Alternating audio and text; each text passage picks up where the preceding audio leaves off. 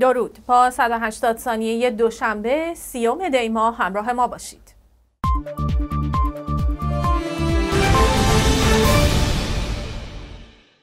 دولت فرانسه اعلام کرد عملیات حفظ و حمایت از کشتیرانی آزاد در تنگه هرمز از حمایت سیاسی کشورهای اروپایی برخوردار است و آلمان، بلژیک، دانمارک، یونان، ایتالیا، هلند و پرتغال نیز اعلام کردند که در کنار فرانسه هستند.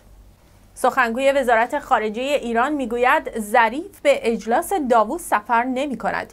او علت لغو سفر وی را به هم خوردن برنامه تنظیم شده اعلام کرده است. از سوی دیگر ظریف گفته است اگر سه کشور اروپایی اقدامی در برابر جمهوری اسلامی ایران انجام دهند از جمله پرونده این کشور را به شورای امنیت ارجاع دهند ایران خروج از پیمان منع گسترش سلاح‌های اتمی را بررسی می کند. معاون وزیر خارجه روسیه در واکنش به تهدید ایران گفته است همکاران ایرانی ما به خوبی آگاه هستند که از نظر ما زیر سوال بردن پایبندی ایران به NPT صحیح نیست.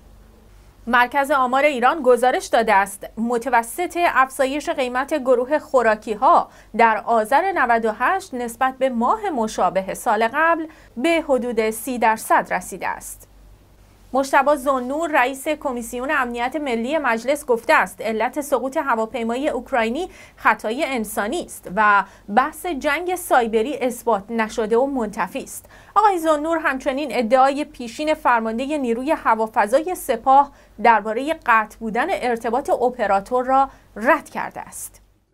محمد تقیزاده معاون عمرانی استانداری تهران گفته است منشأ بوی نامطبوع تهران سه مجتمع پردازش پسماند آراتکوه مجموعه دامگستر و فاضلاب شهری که در جنوب تهران قرار دارند تشخیص داده شدهاند.